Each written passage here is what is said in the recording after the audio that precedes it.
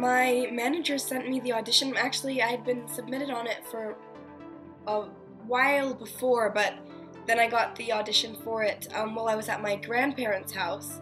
And um, to say the least, my grandpa is not a huge fan of bad language. and so I was, I remember trying to say the bad words very quietly while taping because I was, I was worried he would hear me saying, you know, like the F word or something. But um, as for what I can connect to about Mac, I think that we have probably more differences than we do similarities. But I would say that one similarity that I can think of, I think would be the most prominent one, is our sense of humor.